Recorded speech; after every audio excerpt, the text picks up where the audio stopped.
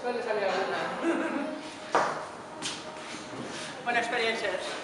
Hemos venido a Bilbao a conocer a, las turistas y estoy súper contenta porque bueno, las tres tienen negocios online, eh, cada una se dedica a una cosa diferente, son eh, negocios complementarios al fin y al cabo, que todos necesitamos parte de sus servicios de una manera o de otra.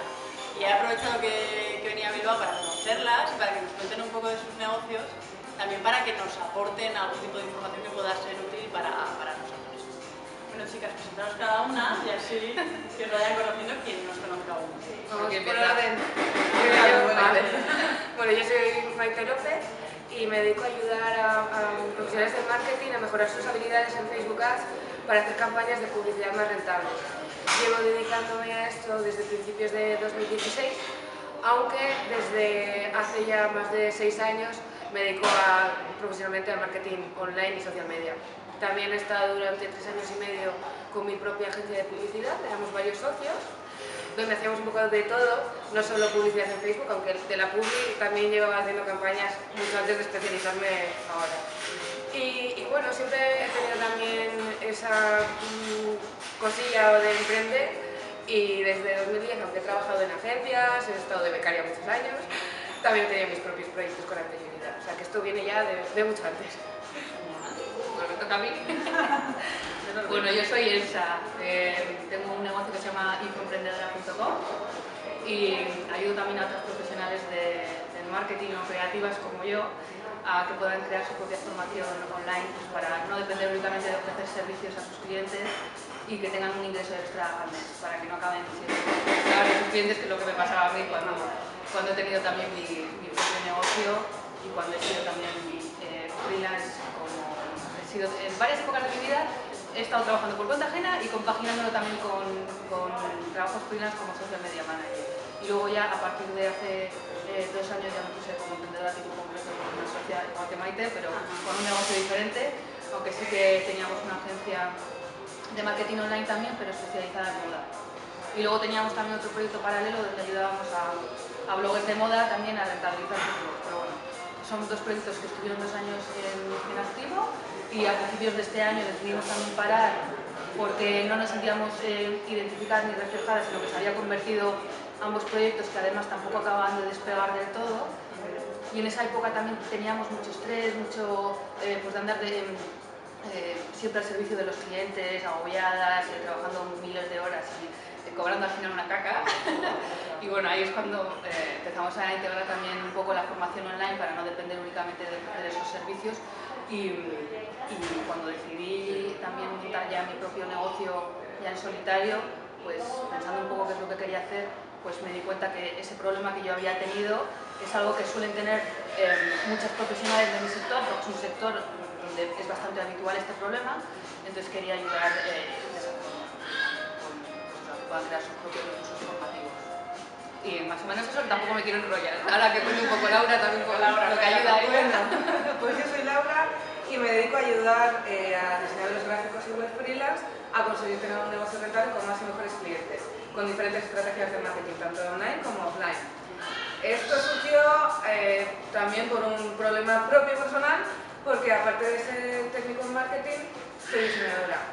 Y desde 2011 más o menos empecé a dar servicios como freelance. En 2013 ya di el salto al 100% mi propio negocio dando servicios de diseño eh, como freelance. Estuve dos años más o menos trabajando exclusivamente para clientes. Acabé súper quemada. Estaba todo el día pagando juegos eh, con unos precios que me apretaban, que veía que trabajaba muchas horas, no, no conseguía eh, hacer despegar el negocio, ¿no? no conseguía que todo ese esfuerzo que fuese en proporción también a los ingresos. ¿no?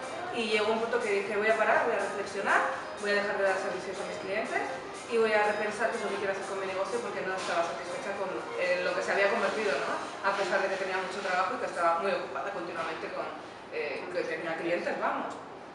Y entonces en 2015 a principios decidí cambiarlo todo, eh, centrarme de nuevo en mi blog, que lo tenía desde 2008, pero vamos, sin ninguna estrategia ni nada, aunque me venían clientes por esa vía. ¿eh? Y entonces decidí empezar a ayudar a diseñadores que estaban en la misma situación en la que yo me había encontrado, eh, con diferentes consejos para que supiesen definir bien sus precios, captar correctamente clientes, empecé a investigar mucho también para aplicármelo a mí, todo lo que yo no había resuelto, ¿no? Y entonces, eh, en ese sentido, lo que conseguí fue centrar todo mi negocio en, este colectivo para ayudarles con, todos estos problemas, etc. No sé si hay tiempo. Sí que sí. Vale, vale. Estoy controlando, estoy controlando.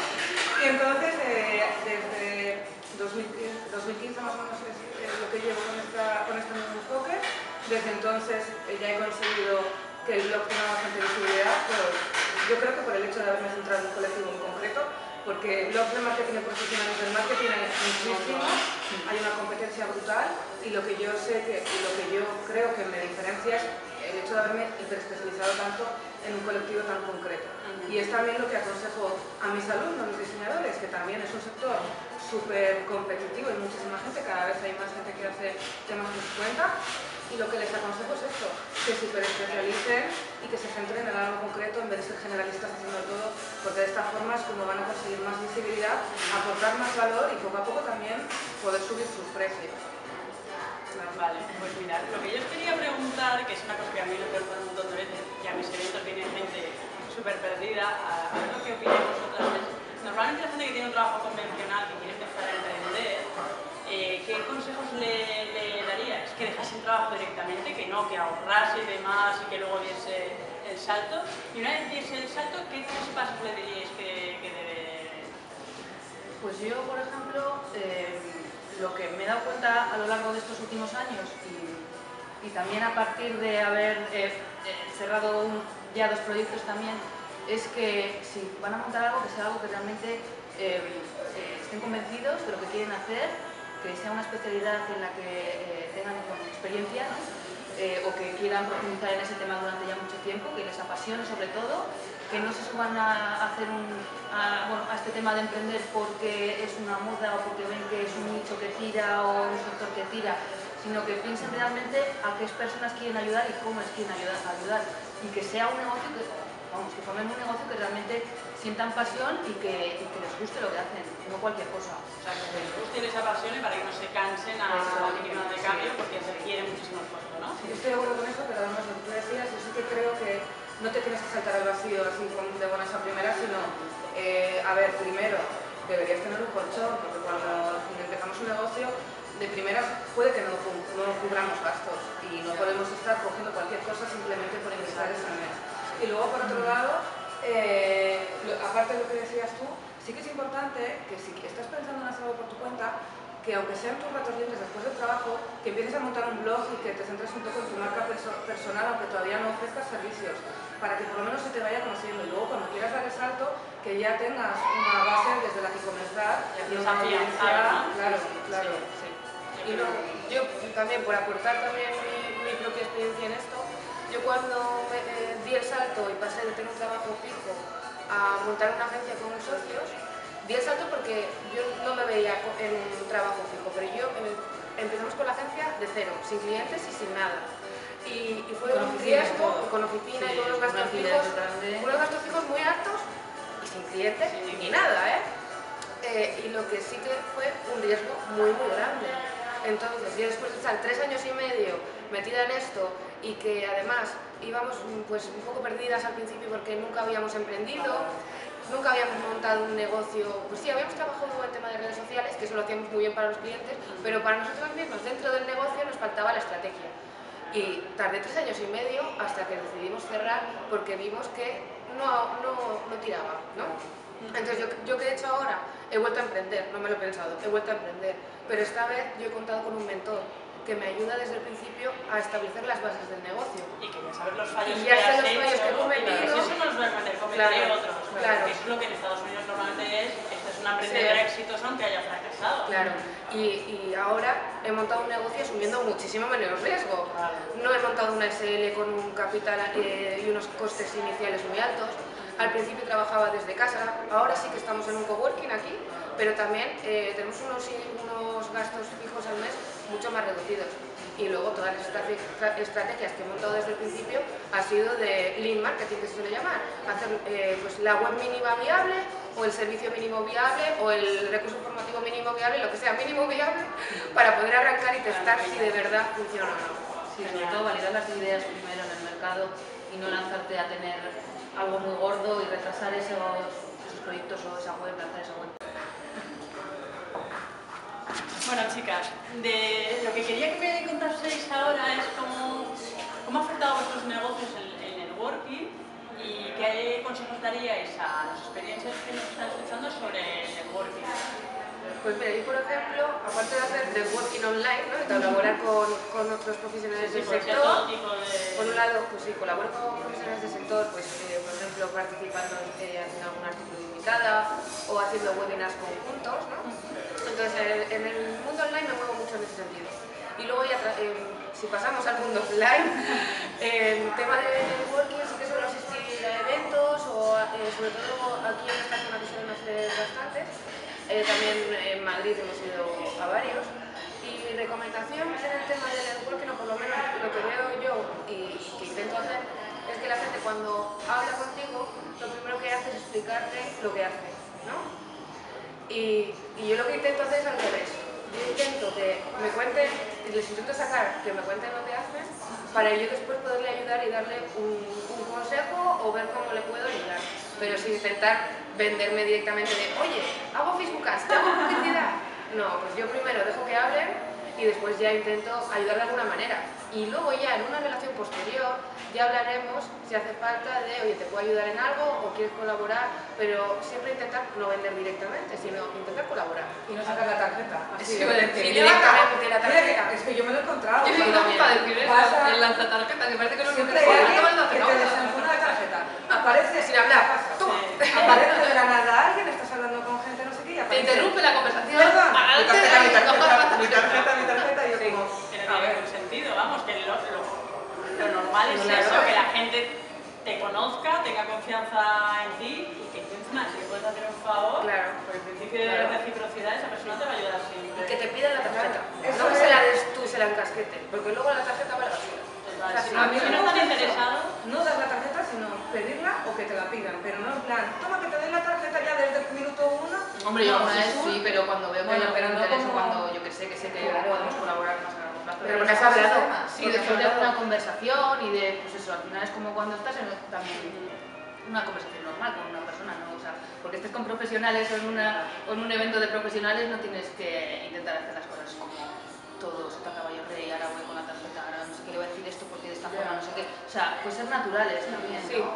Y luego también, ay, perdón, sí, a. No, bueno, eh, del tema de online, que sí que ha comentado Maite de hacer networking online, eh, lo que también a mí me funciona bien es intentar aportar valor en grupos de Facebook, donde sé que están mi, mi- pues, personas que pueden estar interesadas en lo que yo ofrezco, o que sé que tienen los problemas que yo resuelvo, o grupos de alumnos o de cursos que, que, en los que formo parte como alumna, por ejemplo, y que sé que también hay, hay otros compañeros que nos podemos ayudar mutuamente, entonces el tema de grupos de Facebook funciona muy bien para networking. Pero hacerlo natural. Yo lo hago Sí, porque sí, me no, sale, no veo un comentario y digo, uy, le voy a ayudar que se Claro, no tengo un interés de le voy a ayudar porque así luego va a pensar en mí y la próxima vez le- le- me devuelve el favor o lo que sea. No, la No, no, porque te crear apetece y ya relaciones naturales, sí. Y al final muchas de estas personas se convierten también en amigos, en colaboradores, en clientes o en proveedores tuyos, yo es lo que veo, ¿no? De manera natural, con la gente con la que tienes feeling y eh, eh, vamos, que has congeniado bien es de donde salen luego las cosas, ¿no?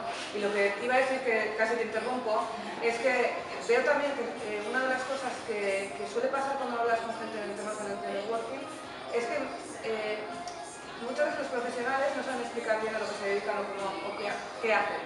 Entonces, tú cuando les pregun- le preguntas a alguien, no, ¿y qué haces? ¿A qué te dedicas? Muchos no saben, no saben decirlo. O te sueltan algo que dices, no me he enterado de nada. de esa manera es muy difícil ayudarle. Claro. Claro, o algo súper técnico con palabras súper rebuscadas que igual solo conocen ellos en su sector, ¿no? Y entonces, en ese sentido yo digo, Jolín, ten una, ten, analiza un poco tú lo que haces y ten una frase, tu propuesta de valor, tenla clara diciendo a quién ayudas, cómo ayudas, cuál es tu especialidad y, oye, y qué resultados o qué beneficio obtiene la persona que trabaja contigo. Pero de una manera clara, con una frase, pues eso, como cuando hablas con alguien, "Oye, ¿a qué te, a qué te dedicas? Pues oye, ayudo a diseñadores gráficos freelance a conseguir más clientes a través del marketing. O sea, algo súper sencillo, pero para que la gente lo entienda. Si alguien no entiende lo que es el marketing, pues lo explica de otra manera, ¿no? Pero algo más claro. La gente intenta rebuscarlo, muchas veces te quedas como, pues que no tengo ni idea de a qué se dedica esta persona. O porque cada uno conoce sus palabras Claro. técnicas y, y cree que todo el mundo va a conocer esas Claro. palabras Sí, sí. técnicas y como tú no lo pases a un vocabulario básico que lo entienda el de enfrente, Sí, yo sí, por ejemplo, la- mi propuesta de valor, al principio cuando la decía, la gente se me, se me como, eh, ¿qué es eso de los infoproductos? Entonces, esa palabra además en los negocios Sí. online, Ah, los es que ya estamos que ya avanzados, sí, eso sí, sí, pero lo tenemos súper, vamos, pero quien está empezando es, perdona, Sí, entonces voy haciendo pequeños ajustes para cambiárselos. A base de repetir y de, y de explicárselo a la gente, pues veo, ah, vale, ¿qué es esto? ¿Qué, son, qué formación online? Ah, Pues ya, ahora- ya lo entiendo. Entonces, pues voy reajustando también mi frase para, para que se vaya entendiendo mejor. Yo lo no, mismo, porque al principio decía, pues me dedico a hacer campañas en Facebook Ads. Y entonces dice, ¿qué es Facebook Ads? Y digo, eh, publicidad en Facebook. O sea, que eres community manager. Y digo, no, son anuncios en de pago. No, no soy community manager, eso lo era antes, pero ahora ya no.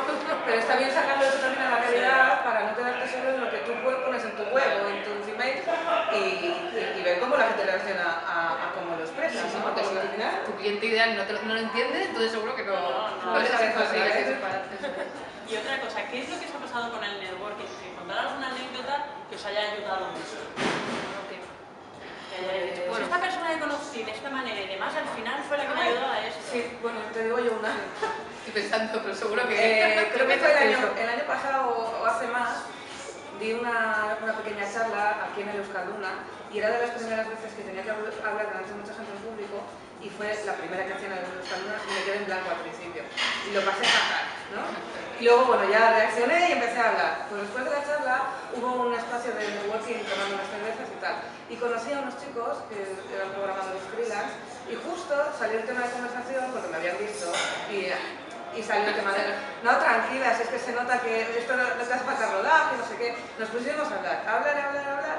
Volvimos a encontrarnos otra vez después en otra cosa, empezamos a hablar por Facebook, nos encontramos el año pasado en Madrid en el Bitácoras y resulta que este año uno de ellos se apuntó a mi curso y, y lo recomienda. O sea, que al final de la tontería más grande de, de algo que para mí fue horrible, salió una buena experiencia y una buena relación después. Ya sabes dónde Sí, sí, sí. llegar, Sí, a mí, por ejemplo, en temas de networking, bueno, no sé si tiene mucho que ver con tu pregunta, pero lo que sí que me ha ayudado es, eh, o en entrevistas de trabajo incluso, cuando conoces a alguien y quieres que, que se quede con algo de tu persona, porque al final en, una- en un evento de networking hablas con un montón de gente, ¿no?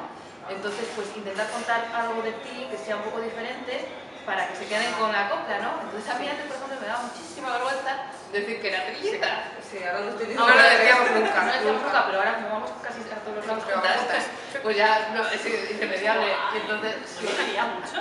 entonces le- ya le suelto, bueno, pues sí, soy trilliza, no sé qué. Entonces ya se queda, ay, eres trilliza, no sé cuál". Entonces, pues esa cosilla que pues una chorrada. Sí, Pero como es algo que es diferente, es parte del grupo. Sí, como es algo diferente, no tiene, a ver, que lo puedes decir que soy trillita, pero otra persona, pues cada uno tiene sus, pequeñas cosas por ejemplo, o anécdotas o lo que sea. Entonces es una cosa que también te engancha. Por ejemplo, en Econor, que es un, es un emprendedor pero que ya tiene empresa, empresario, inversor, business angel y de todo, y ha dado el salto y está en Estados Unidos. Eh, él contaba en una- eh, también en una conferencia que él, cuando iba de networking, iba con vaqueros, en plan naranjas, verdes, super chillones, Sí, sí, sí. y lo hacía a propósito para que la gente se quedara con El pantalón naranja. Lo decía, lo Sí, sí, decía, ¿eh? lo comentó. digo, "Joder, qué buena idea. Y des- Y desde entonces yo creo que yo Porque, a ver, tema de marketing hay un montón. Y bueno, no tengo ninguna Lo que importa es que se característica. quedes en la cabeza de uno para Claro. cuando te necesite diga, eh, a ver, anuncios. Ah, vale, pues entonces. La No, trilliza. pero de hecho, yo muchas veces yo lo empecé a decir porque luego te saluda gente en la calle Sí. de algún evento, los mismos, y cada vez que voy a mi hermana, que Claro. yo siempre digo, soy trilliza, ¿eh? que igual anda por ahí o no, pero si te veo por la calle y no te que no soy yo, que es mi hermana o mi Sí, otra hermana. eso te lo decimos siempre. Y, y- y online también es un jaleo, porque igual alguien conoce el proyecto de una y luego la ve uh, que está por otro lado y dice, pero esta chica no hacía otra cosa ahora porque está con esto. claro, Y la verdad que está haciendo también lo otro y dices, uy, qué jaleo, aquí me, me falta. Cuando cambian el nombre también, a mí muchas veces, hola Mike, acabo de estar en el blog de tu hermana, no sé qué, y digo, que no, que yo soy la Sí, bueno, eso es habitual, yo creo. Es que para, para, para el resto es súper. O sea, tú cuando has entrado, yo no sé de quién era. No, normal, es que es normal. Es que no sabía. Es que ahora tienes el de. Madrid y tal, digo, vale, sí, sí, sí. Luego juntas. No, ahora sí, ahora sí, Pero, si estamos por separado y nos ves por la calle, Claro, no, no, no. O si no vas al tiempo, si como cualquier persona, una persona engorda, adelgaza, se cambia el pelo, no sé qué, pues igual no la reconoces a la primera. Ahora estamos bastante parecidas, que tenemos el pelo del mismo color, no tenemos flequillo, pero hemos tenido épocas de yo tenía flequillo así. Yo el pelo Eh, chico. Laura el pelo chico. Eh, yo tenía el pelo rojo, cada uno teníamos el pelo de un color. Ahora ya parecemos otra vez iguales. Sí, sí. Bueno, chicas, y ahora me gustaría que contaseis a, a la comunidad de experienciar eh, vuestros negocios online, vuestros clientes o creando vuestros y demás, que nos dieseis los consejos más valiosos que podáis dar para nuestra comunidad y cada uno de vuestros sectores. ¿Te parece? Muy bien. ¿Empiezas tú? Yo, por ejemplo, vale, pues eh, una de las claves que siempre le comento a todos los diseñadores eh, es, la- es lo, que, lo que he dicho antes, ¿no? El tema de especializarse y no hacer de todo. Es que es importantísimo para diferenciarse de golpe. Más que intentar posicionarte como el gran experto en web, el gran experto en eh, identidad visual, pues es muy, muy difícil. Eso es un camino, ¿no? No puedes ser el gran experto desde el principio. Lo bueno es, y que se puede hacer más rápido, es centrarse en un colectivo, que es lo que he hecho yo. ¿no? Y en ese sentido ya te estás diferenciando de golpe y no tienes por qué eh, tener ese recorrido tan largo hasta convertirte en un referente. Lógicamente te lo vas a tener que trabajar y vas a tener que eh, generar visibilidad y autoridad en, en este sector, pero es mucho más rápido centrarse en un colectivo para destacar y diferenciarse que intentar ser el mejor en una disciplina concreta cuando ya hay muchísima gente haciendo. ¿no? Luego, por otro lado, ¿qué- ¿cuántos doy? ¿Tres? Consejos? que creas que es más importante. Vale. Luego, eh, también en nuestra profesión se suele trabajar muy a medida, haciendo servicios a medida, con presupuestos. Alguien te viene y te dice, oye, quiero un logotipo y quiero que tal, cual, y entonces te inventas el servicio, ¿no? Te inventas un presupuesto y lo adaptas a las necesidades que te ha pedido este cliente en concreto. Es muy difícil saber eh, en estos casos cuánto cobrar, porque cuánto, cu- cuánto plazo dar, eh, cómo hacer el flujo, flujo de trabajo para que siempre eh, poder ir optimizando. ¿no? Y en esto, eh, yo lo que sugiero es intentar crear unos servicios paquetizados de base con unas características, una metodología ya concreta, con un proceso de trabajo definido, eh, unas características, unos entregables, y a partir de ese servicio que tú ya tienes creado en tu cartera de servicios, eh, ya puedes crear eh, perdón, presupuestos a medida, no servicios a medida, presupuestos a medida en base a un servicio. Entonces es mucho más fácil poner el precio porque ya tienes una base estructurada con un precio mínimo del que partes y luego es añadir características y tal para adaptarlo al cliente.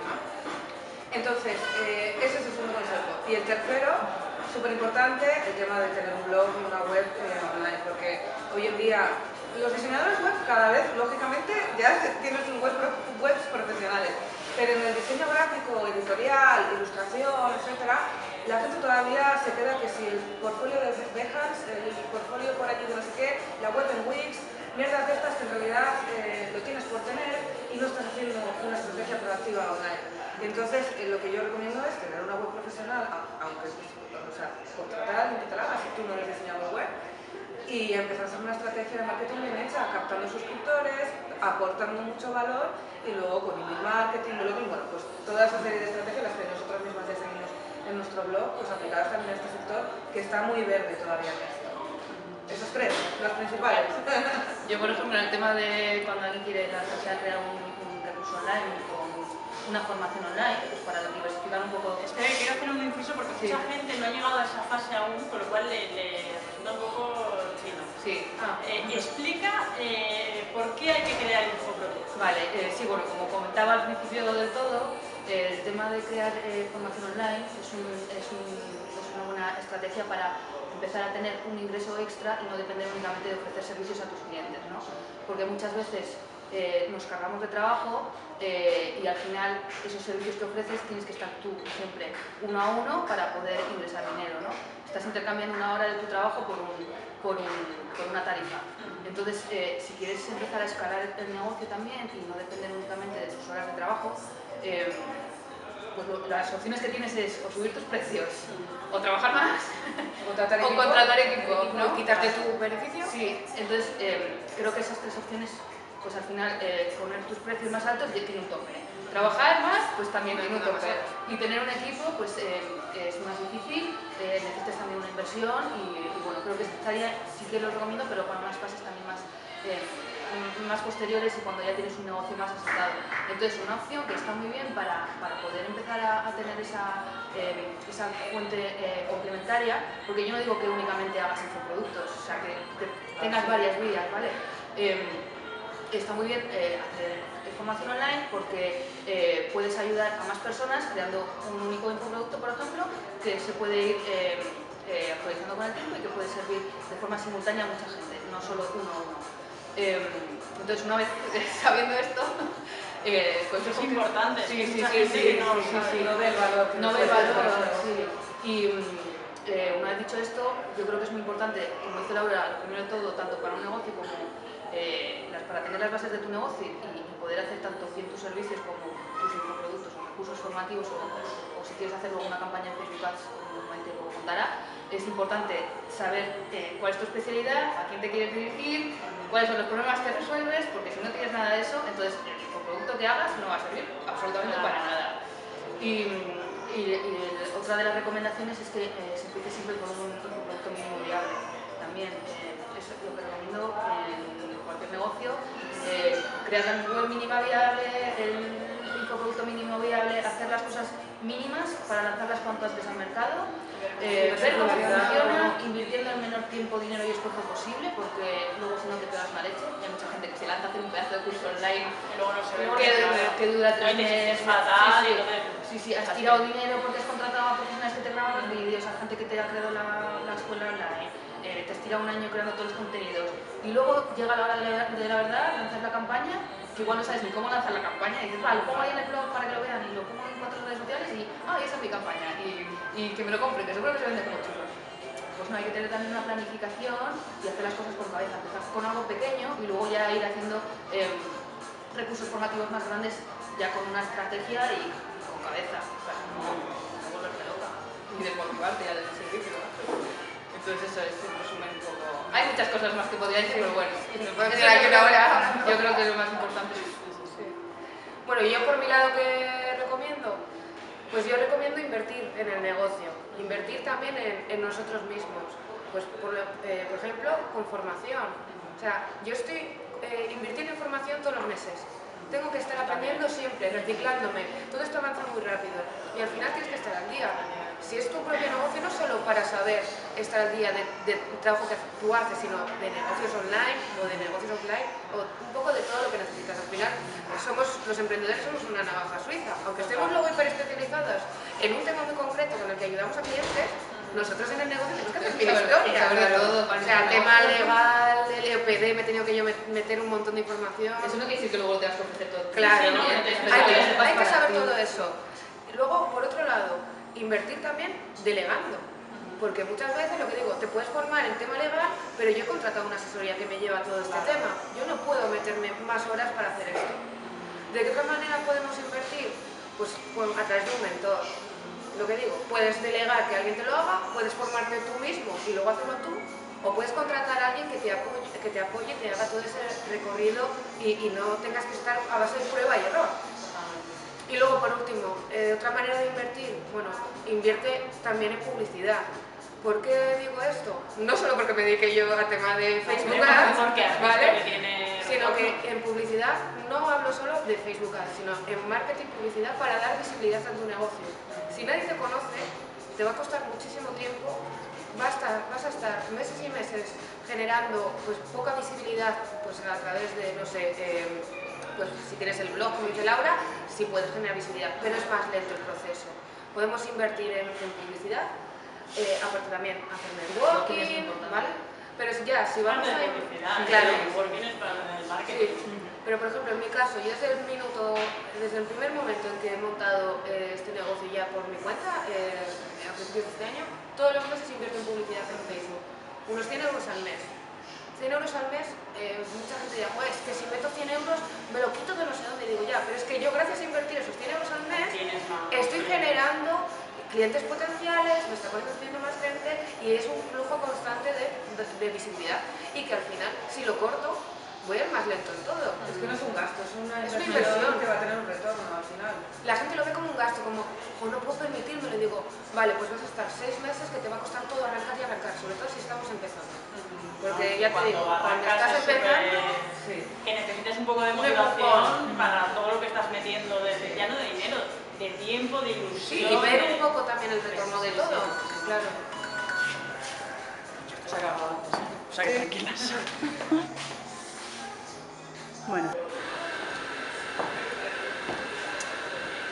Bueno, chicas, vamos a subir el tono, que estamos aquí con cafetera a la. Eh, lo, que os quería preguntar ahora, ya como última pregunta, es eh, cuando tú ya has lanzado tu negocio, que seguro que os ha pasado vosotros también, a mí me, ha pasado en un momento de, mi negocio que ya estaba todo lanzado, ya estaba todo de maravilla y aquello no iba. Pero no iba yo en mi caso porque llevaba muy pocos meses, con lo cual yo ya he puesto toda mi energía y demás y de repente como que no veis que la flor sale. Justo eh, un año más tarde digo, vale, tenía todo sentido, había tiempo y demás. Pero vosotros, ¿qué, qué aconsejaríais para que un negocio que ya ha lanzado, que ya tiene su producto, pues ¿qué, tiene que hacer para que aquello vaya y para que realmente explosione, que, funcione bien cuando estás haciendo todo lo que debes hacer? Es decir, para tener más visibilidad, para que la gente te conozca y demás. ¿Qué aconsejarías?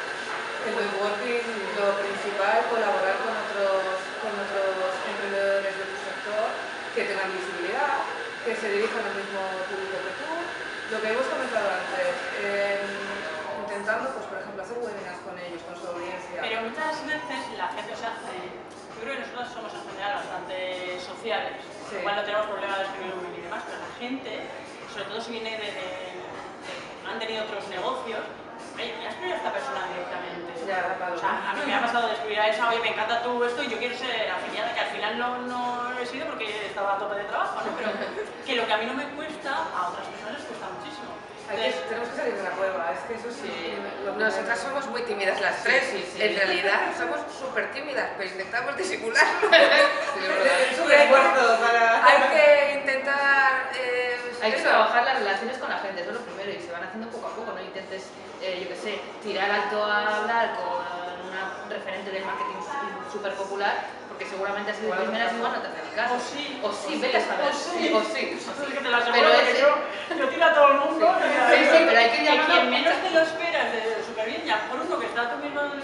Y pasa. Sí, pero muchas veces dices, es que mm, le he dicho a este, me ha dicho que no, y ya se ya dice, jo, ya no, ya lo he intentado una vez y no ha pasado nada. Bueno, pues no hay que rendirse, Hay que que salir. seguir. Que tocando- no hay que practicarlo. Sí, hay que seguir tocando puertas, eh, intentando entablar relaciones con la gente de tu entorno, eh, ir conociendo eh, bien a tu audiencia, intentar tener esa relación pues de, eh, yo que sé, hacer quedadas virtuales y, y, yo qué sé, con tus clientes o con tus alumnos o con eh, los seguidores de tu blog o con, con los seguidores del blog de otra persona.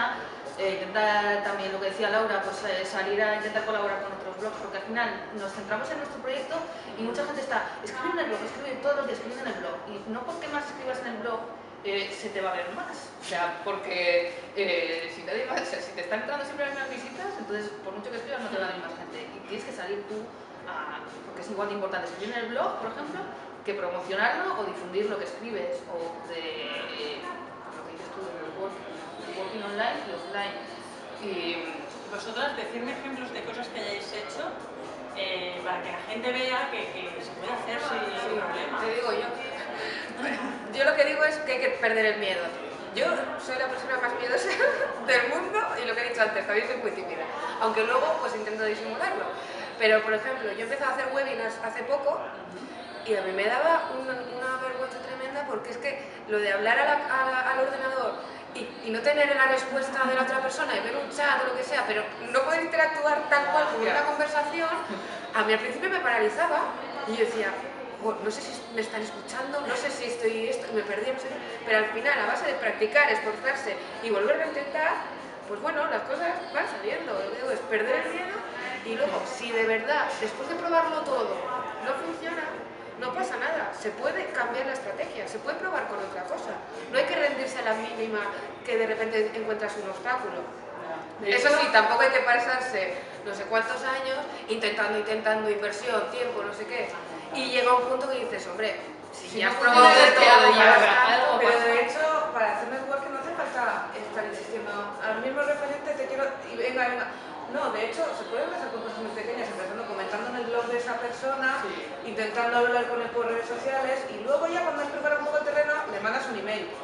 Que no Sí, sea que ya te conoce un ¿no? poquitín, ya, O sea, ya. puedes empezar, si tanto miedo te da mandar un email, intenta hacer pequeñas acciones primero, pues eso, calentando un poco, que te vean, que te sepan quién eres, y luego dices, oye, pues mira, te estoy escribiendo estos días, o estos meses, o te sigo desde hace no sé incluso te puedes hacer una plantilla de email donde aportas también valor, donde le das, le, le quieres ayudar desinteresadamente de alguna manera.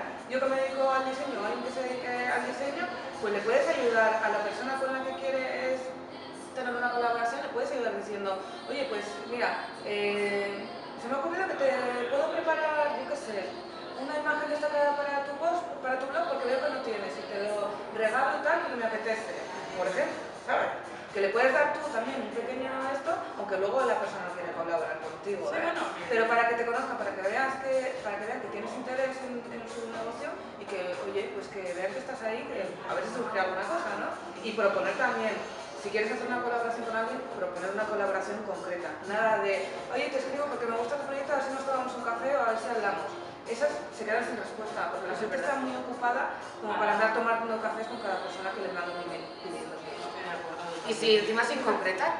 ¿Sabes? Si No concretas, mira, quiero ¿cómo colaborar contigo, ¿te apetece si creamos un webinar conjunto? Sí, ya tengo una idea? Y le dices tú o una o dos posibles colaboraciones Claro. concretas. Y, o que me gustaría escribir en, en tu blog, porque quiero hablar sobre esto, esto y lo otro, que creo que va a aportar mucho. O sea, decir cosas más claras, cosas concretas que creas que pueden ayudar y que pueden servir en su negocio, porque va a ser una relación, pues eso, win-win, como se llama, ¿no? Sí, que no De se vea que cuando vas a contactar con alguien o le mandas un email es un copia-pega porque se lo mandas a todos igual. Claro, digo, tener una plantilla tú, pues un poco sí, sí, claro, tener te, miras su blog, la línea editorial, lo que suele comentar la gente para ver cómo puedes aportar tú algo que no se haya dicho ya en su blog. Entonces ya te vas con las cosas un poco aprendidas y, y viendo un poco cómo puedes diferenciarte para que te haga caso a ti ese blogger y publique tu, tu contenido, ¿no? Con un montón de invitados. Y luego lo que decía Maite del tema de los webinars, también para quitar el miedo, porque yo llevo haciendo webinars desde hace dos meses que yo, o sea, soy la persona más tímida que te puedes encontrar y tengo un miedo Más que yo. me muero, que me muero.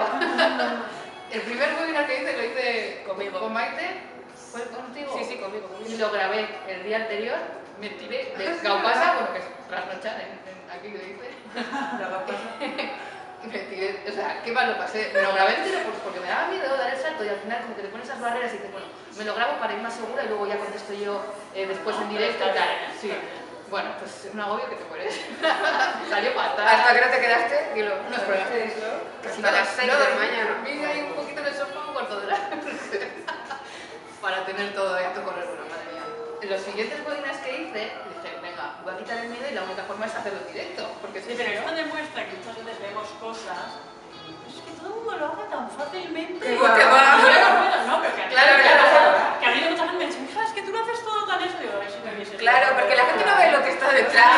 Claro, que yo he preparado lo que yo he hecho hasta llegar hasta aquí. Sí, Claro. Ay, qué suerte llenar todos los eventos. No, es que no sabes lo que yo he pasado. Es que eso de la suerte no es Sí, sí, mucha sí, gracia, ¿eh? Hay que Como- esforzarse. Es suerte no, es trabajo. Sí, la sí, suerte sí. te la tienes que curar tú, la suerte. Bueno, y termino con lo de los webinars. La segunda fase mía para intentar también quitar el miedo fue ya hacerlos en directo, pero iba leyendo. Sí, Y bueno, pues más o menos.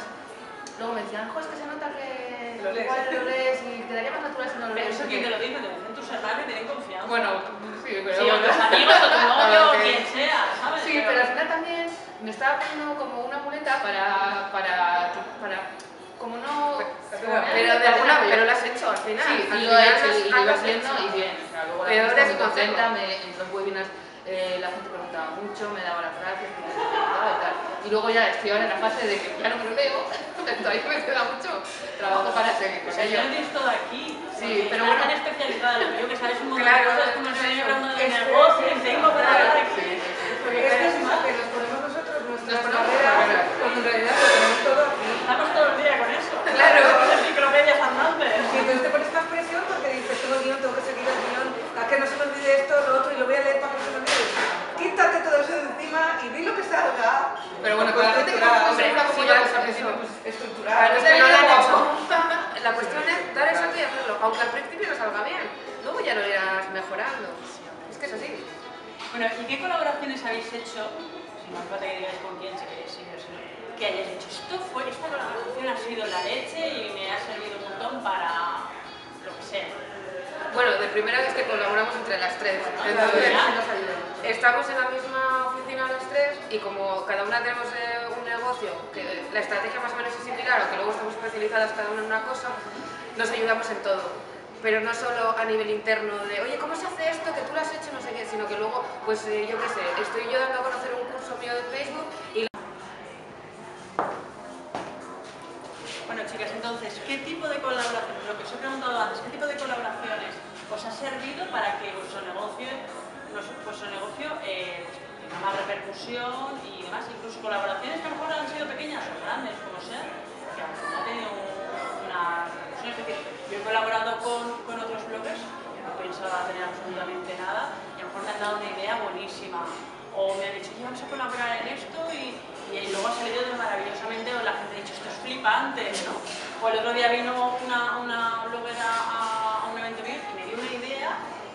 va a ser la idea. Joder, quiero decir que muchas veces de lo menos que te, te esperas, de ahí surge algo Sí. bueno. Sí, pues yo por ejemplo, eh, como llevo pocos meses con mi negocio, eh, desde, desde mayo más o menos o así, eh, sí que estoy dándole bastante caña ahora al tema de la visibilidad para no depender únicamente de hacer anuncios en Facebook o de escribir un blog, pues que al principio no, te- no he tenido blog hasta esta semana que ya por fin lo he abierto. Entonces, cuando no tienes esas cosas porque estás empezando llevas poco tiempo o tienes todavía muy poco contenido en tu blog o lo que sea, eh, tienes que salir a hacer colaboraciones. Y yo, por ejemplo, en los últimos eh, meses mi estrategia ha sido hacer webinars en colaboración con otros bloggers que tienen una audiencia afín a la mía. Entonces, eh, he estado haciendo más o menos una media de 4 o 5 webinars al mes y la verdad que he conseguido unos resultados bastante buenos. Vamos, ya profesional de los webinars. Estoy un poco harta de los webinars porque me están dando unos fallos técnicos que te Bueno, mueres. bueno, pero los nada. beneficios que me, que me han aportado también son muy grandes. Entonces, eh, eh, lo, que, lo que me ha servido hacer este tipo de colaboraciones con otras personas, con emprendedores, eh, con sus compañeros del sector o de lo que sea, es que mi lista de suscriptores ha crecido pues como 1.500 suscriptores cada mes solo con los webinars. Eh, esto se ha- se ha también eh, Pero como has elegido a, a colaboradores que tenían una audiencia, Que tenían- fin buena Claro. Eh, ha ha habido webinars en los que eran 20 personas que estaban en directo, pero que se han traducido en clientes también. Claro, pero es que son con 20 una de calidad. conversión muy alta, o sea que no tienes por qué ir a audiencias muy grandes para conseguir grandes resultados. Que cuando vas a una audiencia pequeña, pero si es muy fiel o, realmente está interesada en lo que tú ofreces, pues que sí se puede tra- eh, traducir en ingresos o en un suscriptor fiel o en, un cliente potencial. Entonces eso es lo que me está dando a mí beneficios ahora, eh, tanto para crear una comunidad más grande como para también ir obteniendo ingresos también. Una pregunta antes de que termines eh, esto que me estabas contando. Cuando tú estás haciendo estos webinars, ¿se lo propones tú al otro, a la otra persona? Eh, en, este caso, en estos casos en los que he hecho Claro, tú sido- querías obtener visibilidad, con lo cual Sí. mandabas un mail de propuesta, oye, me gustaría hacer... Sí, sí, sí, estos, estos que he ido haciendo ha sido porque he ido yo eh, a tocar puertas y me han dicho muchos que no, Bueno, pero es normal. Pero y también ¿qué han dicho ha que sí. que sí? Pues eh, 50-50, pero las colaboraciones que han salido han servido la... Sí, sí, está muy bien. Y las colaboraciones que han salido han, servido, han valido la pena con creces. Y por respuesta no quiere decir que eh, todos te vayan a decir que no, pero para un sí que ya te digan es, un objetivo ganado y es algo que hayas ganado y que tu esfuerzo ha valido la pena. Porque una colaboración, luego con- solo con una cola- colaboración ya se pueden obtener muchos beneficios. Entonces, y no solo en ese momento, sino a largo plazo, porque estás creando también relaciones con, con esa persona que te está eh, dejando un hueco en su audiencia y con su propia audiencia.